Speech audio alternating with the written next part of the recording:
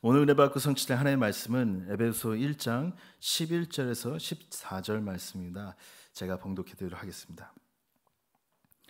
모든 일을 그의 뜻의 결정대로 일하시는 이의 계획을 따라 우리가 예정을 입어 그 안에서 기업이 되었으니 이는 우리가 그리스도 안에서 전부터 바라던 그의 영광의 찬송이 되려 하여 하심이라.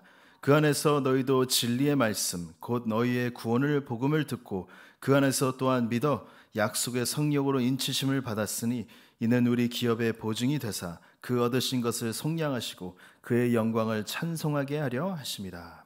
아멘. 오늘 새벽 어, 하나님의 주시는 말씀 제목은 측량할 수 없는 하나님의 사랑입니다.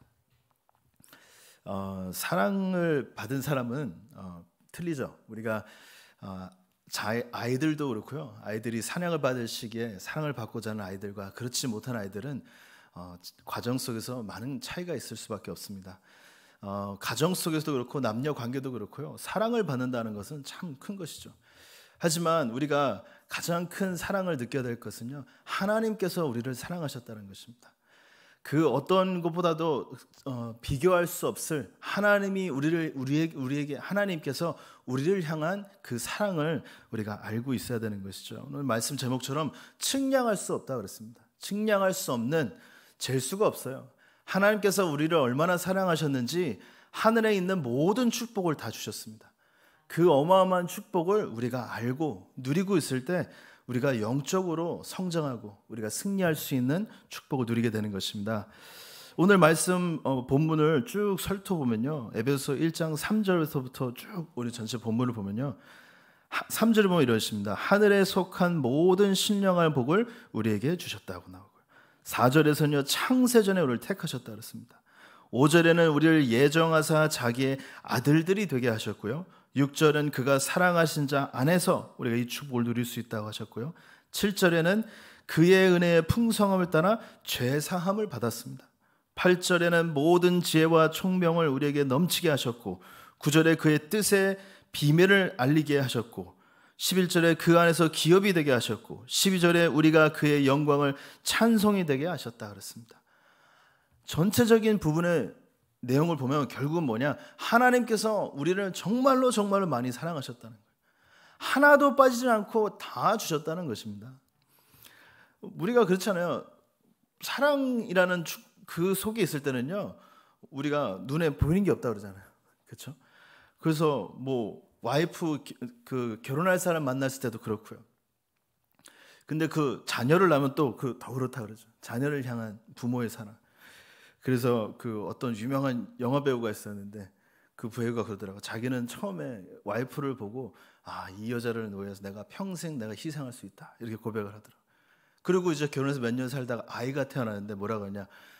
어, 이 아이를 보니까 우리 와이프를 방패를 삼아서 내가 우리 아이를 보호할 거라고 이렇게 얘기를 하더라고요. 그만큼 사랑은 사람으로 하여금 정말 모든 것을 다 주게 만드는 것입니다. 그런데 하나님은 어느 정도냐? 하나님은요, 우리 얼마나 사랑하는지 하늘의 신령한 모든 축복을 다 주신다 그랬어요. 그만큼 하나님 우리를 사랑하시는 것입니다. 어떤 사랑입니까? 무조건적인 사랑이에요. 우리를 통해서 받을 수 있는 게 아무것도 없습니다. 하나님께서. 우리가 하나님을 하나님 우리를 사랑하면서 우리가 하나님께 드릴 수 있는 게 아무것도 없어요. 전적 타락한 인간은 하나님께 드릴 수 있는 게 의의 조금이라도 없거든요. 그런데도 하나님께서 일반적인 그런 사랑으로 우리를 사랑하셨습니다. 그 사랑을 주셔 하나님께서 뭐라 하셨습니까? 독생자를 우리에게 두셨습니다.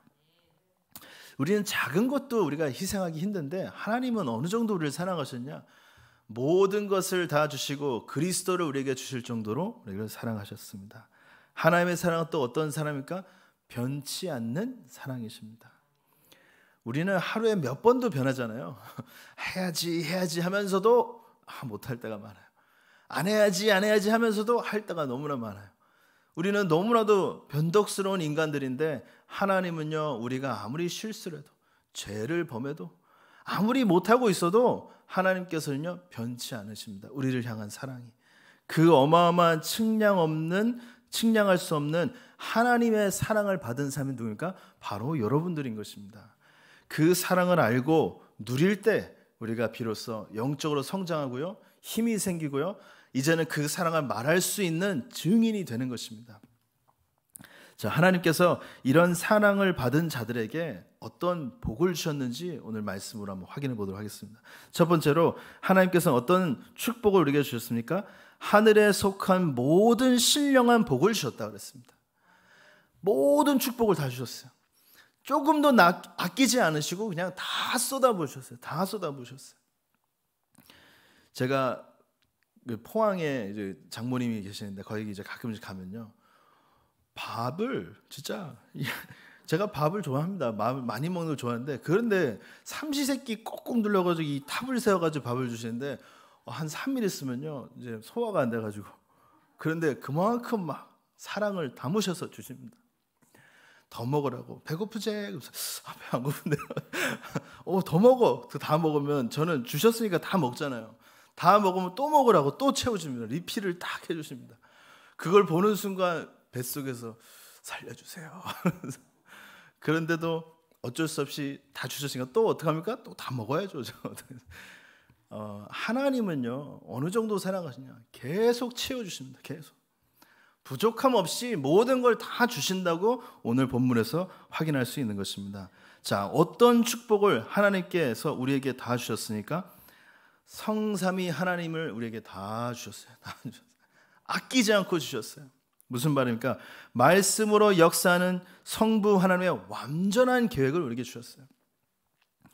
하나님께서 말씀으로 세운 완전한 계획이 뭡니까? 4절 보면 이렇게 나와 있습니다. 창세 전부터 우리를 그리스도 안에서 흠없게 하실 그 계획을 우리에게 주셨어요. 죄투성인 우리 인간, 전적으로 타락한 우리 인간을 흠없게 만드실 그 계획을 하나님께서 말씀으로 우리에게 주신 것입니다. 완벽하게 회복하겠다. 원죄를 통해 사단에 속아서 하나님 떠난 그 죄 가운데 저주 가운데 있는 우리를 머리부터 발끝까지 죄로 완전히 꽉 차 있는 우리를 하나님께서 흠 없는 자로 만드시겠다고 말씀으로 약속을 해 주신 것입니다. 이렇게 완벽한 축복을 우리에게 주신 거예요. 또 어떤 축복을 주셨습니까? 구원을 이루시는 성자 하나님 통한 완벽한 승리를 우리에게 주셨습니다. 하늘의 모든 축복이 누굴 통해 오신다고요? 그리스도 통해서 오신다고는 말씀에 나와 있습니다. 나오죠. 그리스도 안에서 하늘에 속한 모든 신령한 복을 우리에게 주시되 그 그리스도 통해서 우리가 사단의 문제, 죄의 문제, 지옥의 문제를 완전히 해결받은 것입니다. 그 축복을 알게 하신 하나님의 은혜. 이 축복 속에 있으니까 무엇이 주어진다고요? 완벽한 승리가 우리에게 주어지는 거예요. 승리할 수밖에 없는 존재입니다, 여러분. 왜냐? 그리스도가 내 안에 계시기 때문에. 나와 함께 하시는 그리스도께서 무엇을 주셨다고요? 사단을 이기는 모든 권세를 우리에게 주셨습니다. 더 이상 우리는 죄인이 아닙니다. 하나님께서 우리를 완벽하게 흠 없는 자로 만드셨어요. 우리에게 저주가 임할 수 있습니까? 저주란 것은 임할 수가 없습니다, 우리에게. 모든 문제와 사건 속에서 뭐만 확인하시면 돼요? 하나님의 계획이 반드시 있다. 내가 갱신할 것이 있구나. 하나님께서 허락 이 문제까지 허락하신 것은 뭐예요? 이 문제 속에서 갱신할 수 있는 답을 찾으라고. 다시 한번 그리스도로 한번 결론을 내리시라고 하나님께서 허락을 하신 것입니다. 구원을 이루는 성자의 완벽한 승리. 이 축복을 우리에게 주셨습니다. 또 어떤 축복을 주셨습니까? 능력으로 역사하시는 성령 하나님의 인도. 이 축복을 주신 거예요.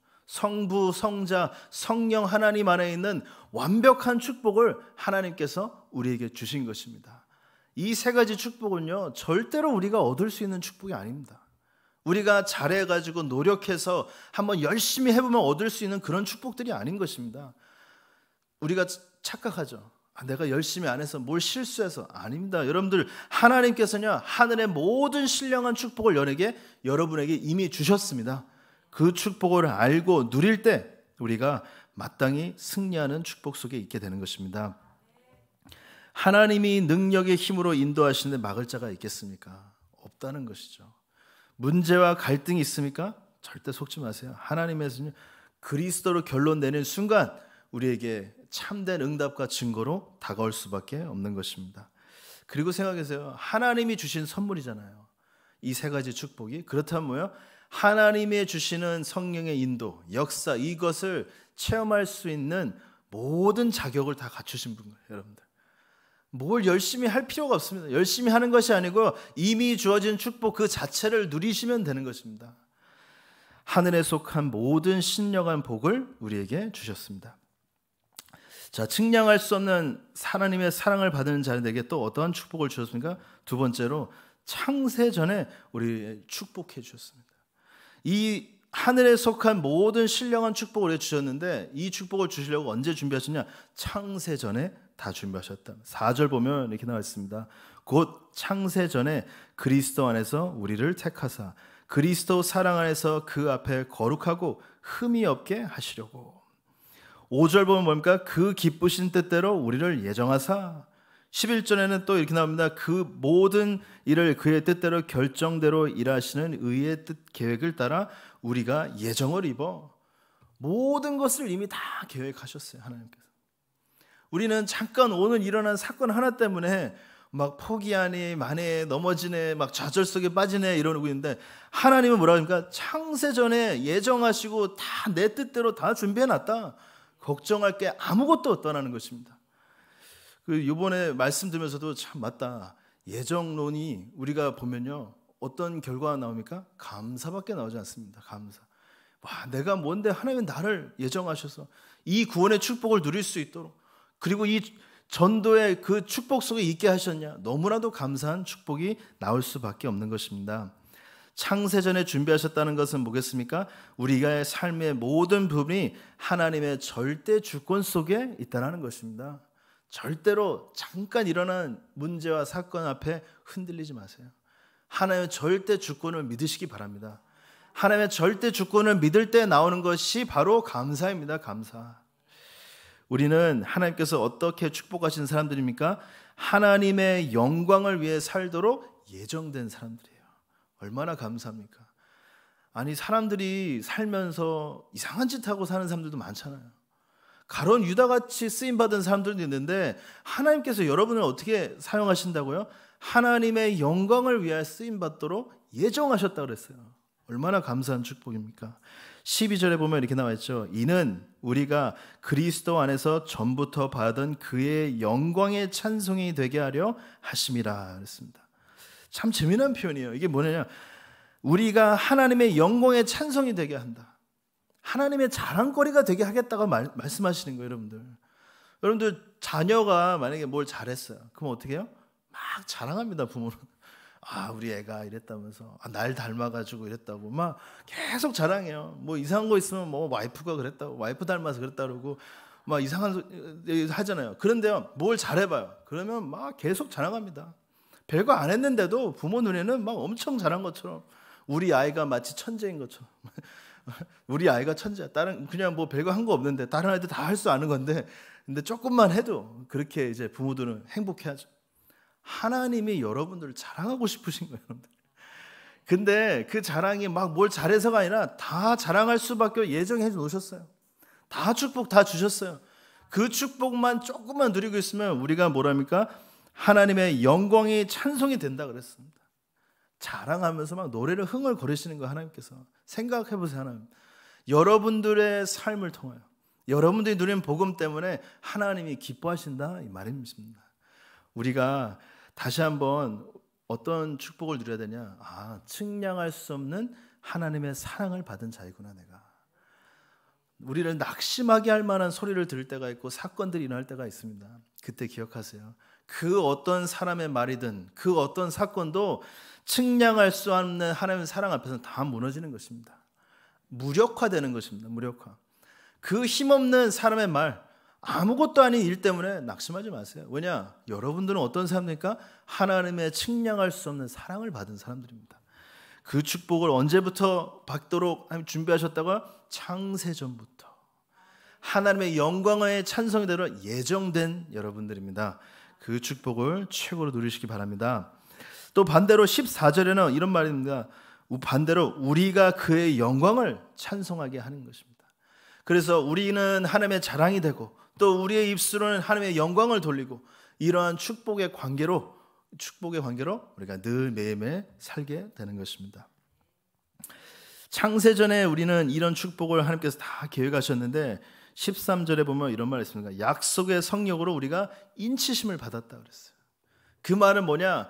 다 계획하시고 이제는 누릴 수 있도록 성령께서 우리를 보증하신다. 보증하신다. 이 축복에서 벗어날 수가 없어요. 인치심을 받았다니까요. 인치심을. 사단이 보면 알겠죠. 우리가 어떤 축복을 받은 사람들인지. 사단이 딱 보면 알죠. 우리가 어떤 사랑 속에 있는 사람들인지. 근데 가끔 우리가 거울을 보면서 우리가 모를 때가 있는 거예요. 그렇죠? 영적인 세계는 다 알아요. 벌써 인치심을 받았거든요. 그 성령의 인치심을 받은 우리 우리가 영적인 눈이 어두워서 잘못볼 새벽에 다시 한번 이 영적인 눈을 뜨고 우리 자신을 한번 바라보세요. 성령의 인치심? 하나님의 사랑으로 머리끝부터 발끝까지 덮인 사람이구나 내가. 낙심되고 걱정 속에 있어야 될 사람이 아니라는 것입니다. 오늘 새벽부터 하나님의 사랑으로 최고로 힘없는 축복을 회복하시고 예수님으로 축복드립니다. 하늘에 속한 모든 신령한 축복을 성삼위 하나님 안에서 하나님이 우리 주셨습니다. 그 축복을 두 번째로 보면 창세전에 예비해 두셨다 그랬습니다. 그럼 마지막 세 번째로 하나님의 뜻과 비밀을 알 수 있도록 또한 축복을 해 주셨습니다. 구절 보면 이렇게 나와 있습니다. 그의 뜻의 비밀을 우리에게 알리신 것이요 그의 기뻐하심을 따라 그리스도 안에서 때가 찬 경륜을 위하여 예정하신 것이니 우리가 옆에 있는 사람 생각하는 무슨 생각하는지도 모를 때가 참 많아요. 그렇죠? 제가 이렇게 메시지 하고 있지만 여러분들이 솔직히 앉아서 무슨 생각하고 있는지 전 모르거든요. 아멘 하시고 은혜 받고 계시겠죠. 그러리라 믿습니다. 막 집에 전자레인지를 켜고 왔나 내가 불을 켜고 왔는데 빨리 가서 불 꺼야 되겠다. 아니겠죠? 정말 말씀 속에서 은혜 받고 계시기를 믿습니다. 그런데 우리가 어떻게 하나님의 뜻을 합니까? 근데 어떤 축복을 받았냐? 하나님께서요.